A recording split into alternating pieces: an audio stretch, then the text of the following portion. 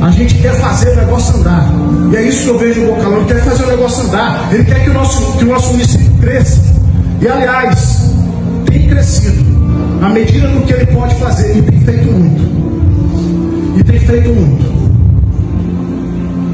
O pessoal fala porque tem-se que criar alguma, alguma narrativa, alguma conversa para tentar denegrir, para tentar derrubar a imagem. Mas nós somos conscientes. Nós sabemos que o Bocalon não entrou lá na água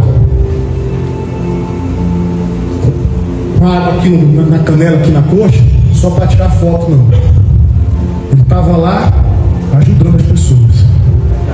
Porque tem uma galera que vai lá só para tirar foto. E vaza. E vaza.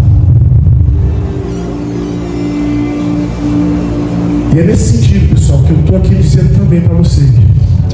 Que a gente possa ajudar o prefeito a continuar o trabalho que ele está realizando hoje. Rio Branco tem prefeito, não precisa de outro cara aqui não.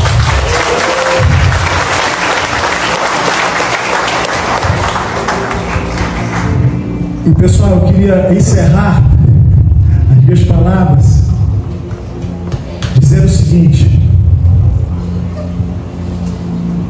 E conhecereis a verdade, e a verdade vos libertará. Não vamos ser enganados novamente. Não vamos ser enganados novamente. Como é que o pessoal fala no ditado? O golpe está aí. Cai quem quer. O golpe está aí.